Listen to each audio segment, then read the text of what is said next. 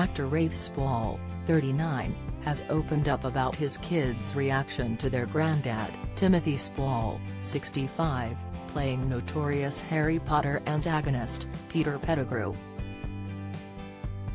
Timothy starred in six of the Harry Potter films including, Prisoner of Azkaban, 2004, Goblet of Fire, 2005, Order of the Phoenix, 2007, Half-Blood Prince, 2009, and both installments of Deathly Hallows, 2010-2011. Timothy gave a villainous performance as Peter, but it turns out his own grandchildren are not scared of him. In a new interview, Timothy's only son Rafe explained that his children are impressed by the famous role. He told Radio Times, they are impressed by my dad, as Peter Pettigrew, in the Harry Potter films. When asked whether he is also a fan of his dad's work, he said, Stephen Poliakoff's Shooting the Past is a beautiful bit of television. I've also gone back and watched Auf Wiedersehen, Ein, Pet and I'm so struck by how good it is, how real and naturalistic. I was in a restaurant the other day and Matt Healy was there, son of Tim Healy and Denise Welch, and has become a big rock star with his band The 1975. I've always felt this connection with him, so we had a nice little cuddle. Speaking earlier this year, Rafe revealed he had a hysterical meeting with Timothy's Harry Potter co-star, Michael Gambon.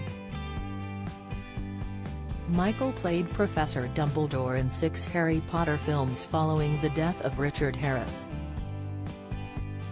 Rafe explained that his father had taken him to watch The Caretaker, which Michael was starring in, when Rafe was a child.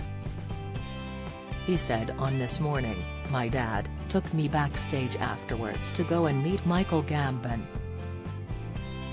I couldn't believe it. I was so knocked out by it. We knocked on Michael Gambon's dressing room and he opened the door, completely naked. As hosts Philip Schofield and Josie Gibson erupted into laughter, Rafe went on, he didn't mention it. I was like, right, I'm just going to go along with this. There's Michael Gambon completely naked. It wasn't like he was sorry about this, he was like yeah, come on in. Come in. Naked. He then joked that his life has never been the same since the hysterical encounter. Rafe is currently playing Atticus Finch in To Kill a Mockingbird in the West End. He is performing at the Gielgud Theatre and fans can watch him until August 13. Rafe is also starring in an upcoming Western drama series, The English, which will air on BBC One.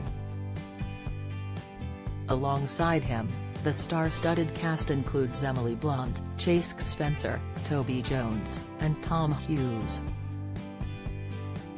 Filming ended in September but an official release date has not been confirmed.